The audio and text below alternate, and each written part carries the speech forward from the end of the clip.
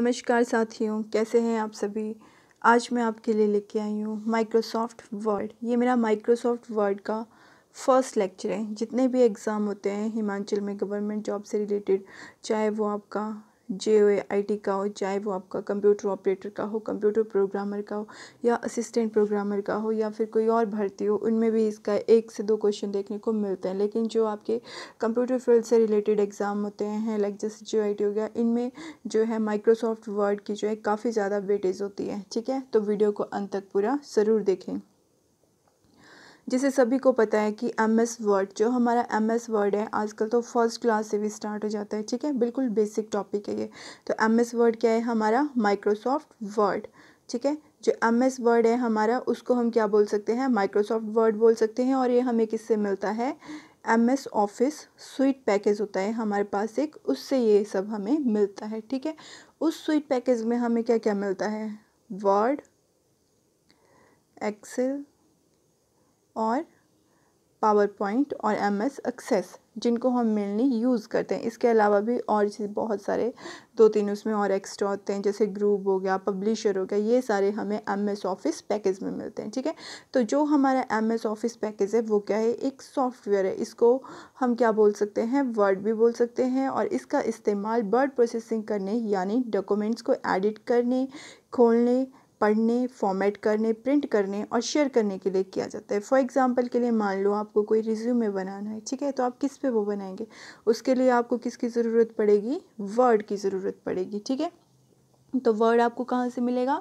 Microsoft office suite package से आपको जो है वर्ड मिलेगा। तो ये क्या है? हमारा एक एप्लीकेशन सॉफ्टवेयर भी है और इसको हम वर्ड प्रोसेसिंग भी बोल सकते हैं, ठीक है? तो जो हमारी वर्ड प्रोसेसिंग सॉफ्टवेयर है, उसमें हमारे पास और भी सॉफ्टवेयर के कम्बिनेशन आते हैं, उसमें हमारे पास लाइक जैसे वर्ड स्टार होता है, ठीक है वर्ड पैड होता है नोट पैड होता है, ये सारी चीज़ें भी हमारी क्या है वर्ड प्रोसेसिंग है, जिनमें हम क्या कर सकते हैं टाइपिंग कर सकते हैं।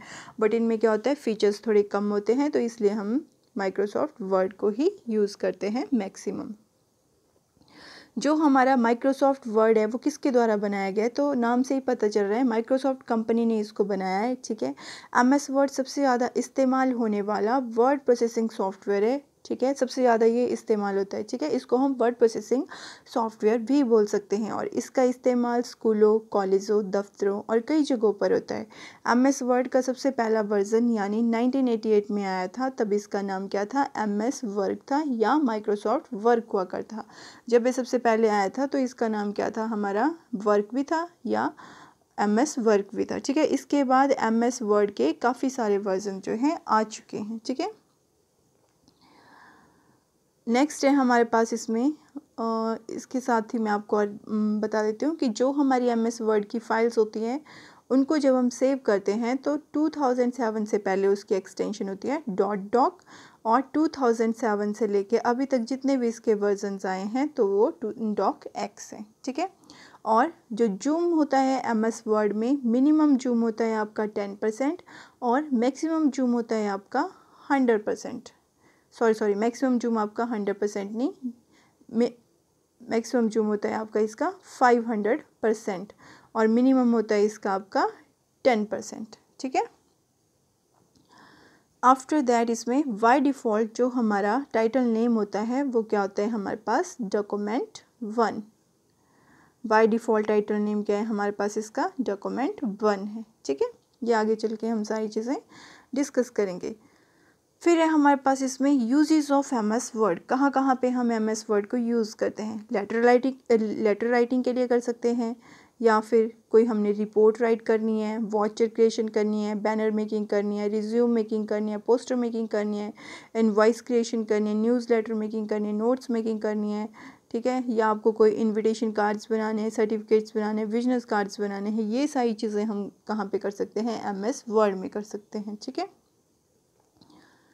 After that M S Word को हम कैसे ओपन करते हैं? तो जब भी हम एम एस वर्ड को ओपन करते हैं, सबसे पहले बहुत ही आसान है एम एस वर्ड को ओपन करना, ठीक है? आपके कंप्यूटर सिस्टम में एम एस वर्ड सबसे पहले एम एस ऑफ़िस इंस्टॉल होना चाहिए, ठीक है?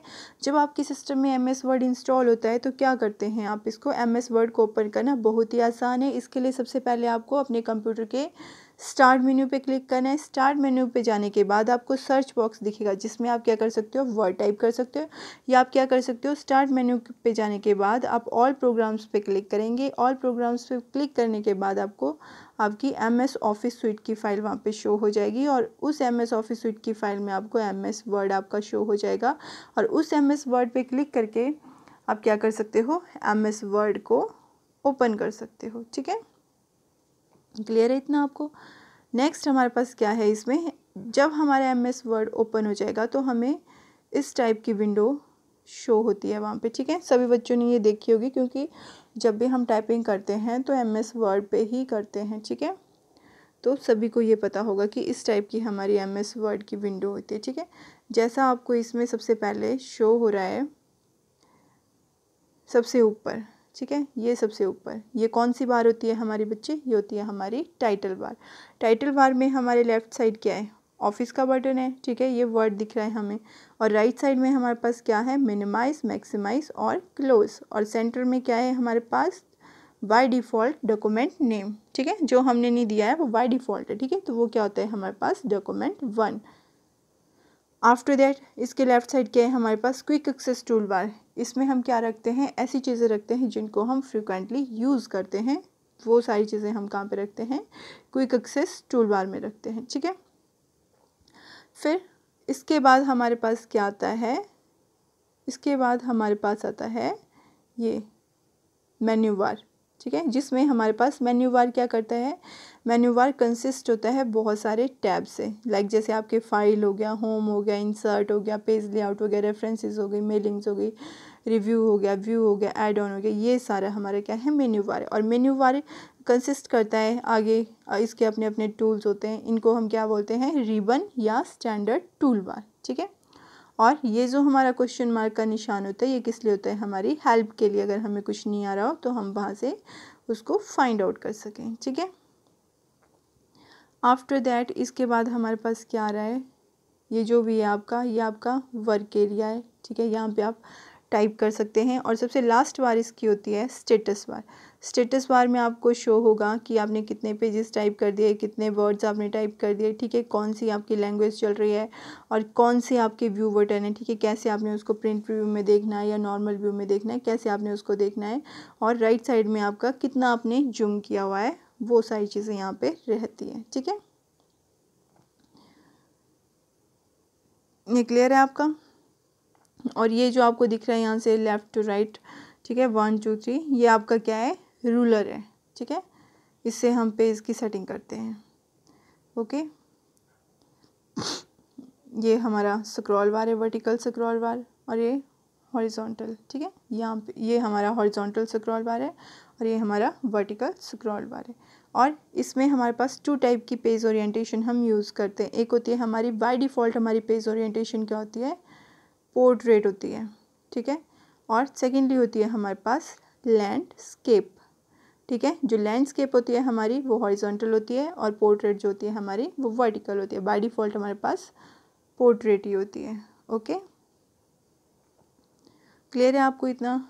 इसके बाद जो है हमारे पास हर टैब, जितने भी हमारे पास एम एस वर्ड में टैब दिए गए हैं, वो टैब उनकी अपनी अपनी प्रॉपर्टीज़ है। जैसे आपका होम टैब है तो होम टैब में हमारे पास क्या है? क्लिप बोर्ड है। फिर क्लिप बोर्ड की अपनी प्रॉपर्टीज़ होंगी कि क्लिप बोर्ड में क्या क्या चीज़ें कंसिस्ट कर रही है फ़ॉन्ट में क्या क्या चीज़ें कंसिस्ट कर रही है, ठीक है? ये सारी चीज़ें हमारी इसमें रहती है।